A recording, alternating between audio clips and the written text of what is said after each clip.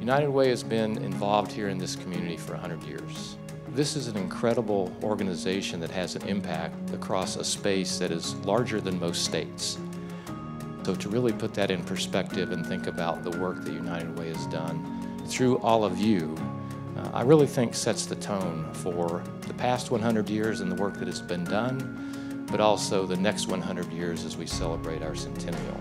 Time and time again, we have seen the power of uniting communities and bringing people and organizations from different perspectives together to help people, families, and communities to realize their dream of a better life.